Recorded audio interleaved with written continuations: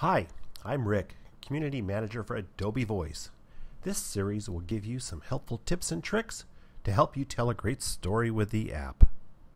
Today's tip is on sharing and embedding your Adobe Voice project. So let's say you're a small business that designs and makes clothing, like Steppy Clothing right here. Steppy Clothing has a project and they want to share it with the world, so they're going to tap the share icon in the upper right hand portion of the screen and they're going to get a place to share it with the world by social media, by email, or other ways they might like to share it.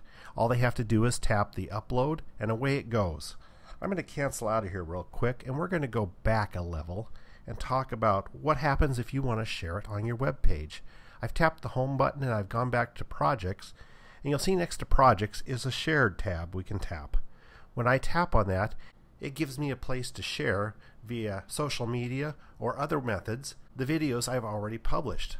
Now if I tap on this video, you can see that it takes me to a web browser that shows me the page my users will see when they tap on my link. And if I were Steppy Clothing and I wanted to put this video on my web page, I've got the ability to do that through Adobe Voice.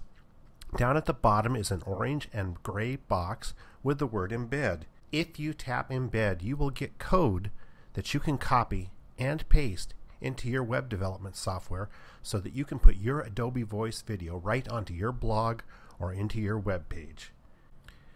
Here we are at the Steppy Clothing website, where Steppy has already embedded her Adobe Voice code into her web page so that her Adobe Voice video will play for all the visitors on her web page. If I tap the play, Hi, I'm Steppy. And this is my good friend Marty. It's as easy as that. Grab the code from the Adobe Voice page, paste it into your blog or website, and all of your viewers will see your story. Thanks for joining me for this latest tip. Remember, I'm always available in our support forum and on our social channels to help answer your questions about the app. Let me know if there's a tip you want to know more about, and we'll try to tackle it here. Have a great day.